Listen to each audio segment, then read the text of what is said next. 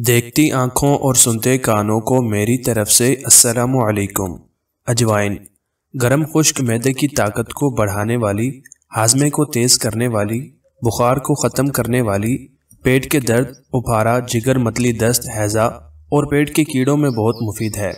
मुख्तलिफ़ चीज़ों, अचार, बेसन के पकवानों में डाली जाती है। अदरक, गरम खुश्क है उफारा मैदे की कमज़ोरी और बलगम की ज़्यादती में मुफीद है। खाना खाने से पहले नमक के साथ एक तोला या आधा तोला अदरक चबा लेना मकवी मैदा है और भूख को तेज करता है और कब्ज कुशा है। अदरक का रस छह माशे भर रस थोड़े सेहत में मिलाकर चाटने से बलगमी खांसी दूर हो जाती है।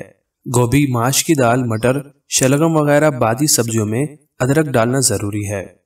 अदरक की दाल गर्म और खुश्क है, बलगम की शिकायत को दूर करती है, कब्ज को दूर करती है और ताकत बख्श है।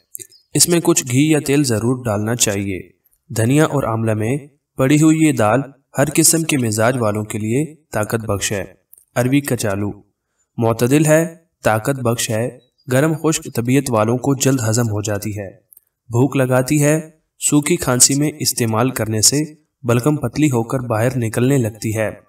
कदरे काबिज है, गरम मिसाला, जिसमें ज़ीरा, मोटी इलायची, काली मिर्च अरबी में मिलाना बहुत मुफीद है।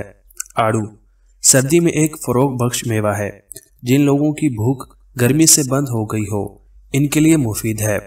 गर्मी के बुखार में मरीज़ को एक आड़ू देने से इसकी तबीयत में फ़र्क पहुँचती है और गर्म और बलगमी मिजाज वालों के लिए ख़ास तौर पर मुफीद है।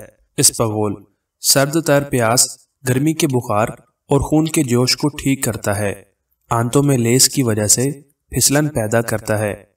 इसकी तीन चार माशा की खुराक काबिज है। सात माशा से एक तोले की खुराक कब्ज कुशा है। ये गले और सीने की खरखराहट को दूर करता है। इस पगोल का छिलका भूसी खासियत रखती है। छिलका ज़रा ज़्यादा लजीज होता है। बड़ी इलायची। बड़ी इलायची गर्म होती है। कदरे काबिज है, पसीना और बादी को हटाती है। खाने को हजम करती है। मैदे के लिए मुफीद ताकत बख्श चीज़ है। भूख लगाती है बलगम को जज्ब करती है। इसके छिलकों का पानी हैज़ा और आम बुखारों में बहुत मुफीद है। प्याज को वो पानी बहुत जल्द तस्कीन देता है। चार लीटर पानी में दो तोले छिलके उबालकर दो लीटर रहने पर ठंडा करके पिलाएँ। खांड मिलाकर दो इलायची फांकने से पसीना आकर तबीयत खुल जाती है। छिलकों का माथे पर लेप सर दर्द को दूर कर देता है। छोटी इलायची। मतदिल खुशबूदार है। दिलो दिमाग मैदा और फेफड़ों को ताकत बख्शती है। दिमाग की खुश्की और खांसी को दूर करती है। तबीयत को साफ़ करती है, बलगम छानती है, दिल मतलाने, कै और खांसी में मुफीद है। चलम में छिलके समेत रखकर इसका धुआँ लेने से हिचकी ठीक हो जाती है। आलूचा। सर दर्द, कब्ज कुशा और गर्मी को दूर करता है।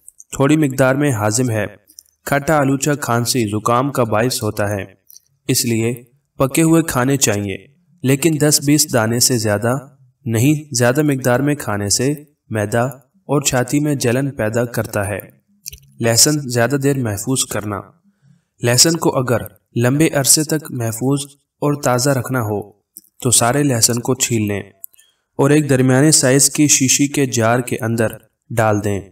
इसके बाद जार में इतना जैतून का तेल डालें कि मुकम्मल तौर पर लहसुन के जवे डूब जाएँ।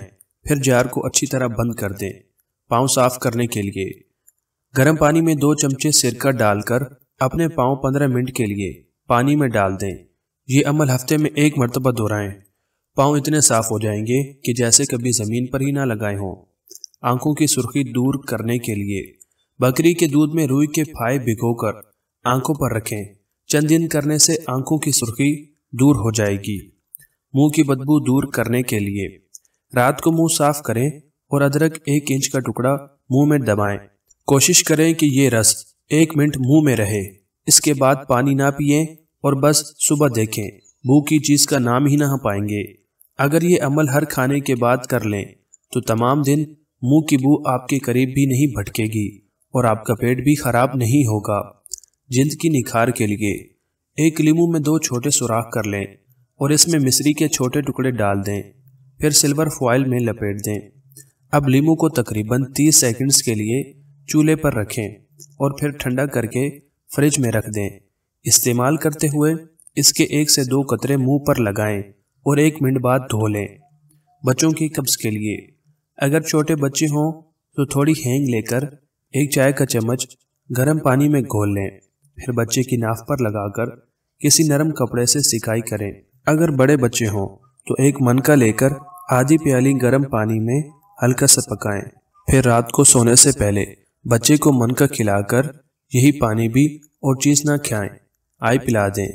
शहद की मक्खी के जहर से बचाव के लिए अगर शहद की मक्खी काट ले तो इस पर प्याज लें। मक्खी के कांटे का जहर खत्म हो जाएगा। पैरों की बदबू से निजात के लिए एक अदद बैंगन को चार हिस्सों में बराबर तकसीम करके एक देगची में सैर भर पानी उबालें। जब पानी नीम गर्म रह जाए तो इससे दोनों पैर धो लें। एक दफ़ा अमल करने से एक साल तक पैरों से बदबू नहीं आएगी। अगर एक हफ़्ता पाबंदी से करें तो पैरों से बदबू हमेशा के लिए ख़त्म हो जाएगी। एलर्जी के लिए। जब छींकों का सिलसिला शुरू हो जाए और नाक से बेतहाशा पानी बहे तो सफ़ेदे के चार पाँच सब्ज पत्ते लेकर हथेलियों पर मलें। फिर इन हथेलियों को मुँह के करीब ले जाकर लंबे लंबे सांस लें। तकरीबन पंद्रह मिनट ऐसा करें, यही अमल चार या पाँच दिन मुसलसल करें। फटी एड़ियाँ। फटी एड़ियाँ ख़ास तौर पर तकलीफ़ देती हैं। इनसे निजात का आसान हल ये है कि चार टेबल स्पून ग्लेसरीन में लीमू का रस और एक चौथाई पीसी हुई फटकड़ी मिला लें। दिन में तीन मरतबा ये मरकब फटी एड़ियाँ पर लगाएँ। चंद दिनों के इस्तेमाल से इफाका होगा। नाफ में तेल लगाने के हैरत अंगेज फवाद सर की खुश्की को ख़त्म करता है, दिमाग की खुश्की को भी ख़त्म करता है।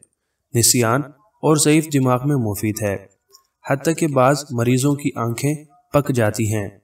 ये नुस्खा इनके लिए नहायत मुफीद है। होंठ का पकना खुश्की के मसाइल होना, होंठों की स्याही के लिए अक्सरी नुस्खा है। नाफ में तेल लगाना निगाह को तेज करता है, जिसम की सुस्ती काहली और ढीलेपन को दूर करता है। बरसात के मौसम में बिस्तर और गद्दों को नमी से बचाने के लिए।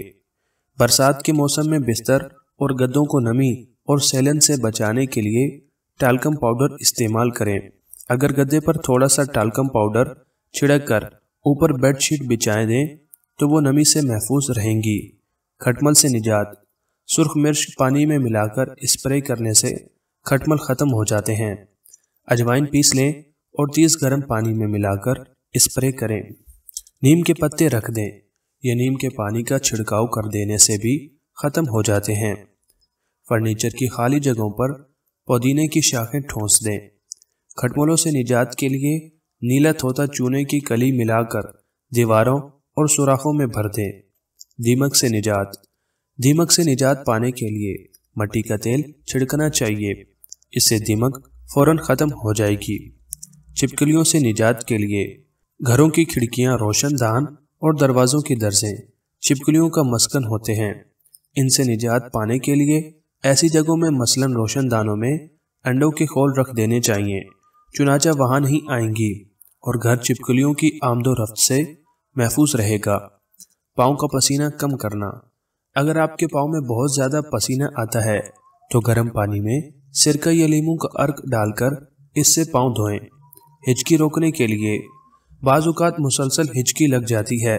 थोड़ी सी चीनी खा लेने से आराम आ जाता है। गर्मी के दानों से निजात के लिए। बच्चों या बड़ों को गर्मी दाने निकल आए तो एक पाव दही मलमल के कपड़े में बाँध कर लटका दें। तो जितना टूथ पक के सरों पर नीला तोता आता है, इतना इसमें मिलाकर दानों पर लगाएँ। दो तीन दफ़ा लगाने से ही सकून आ जाएगा। बवासीर के लिए।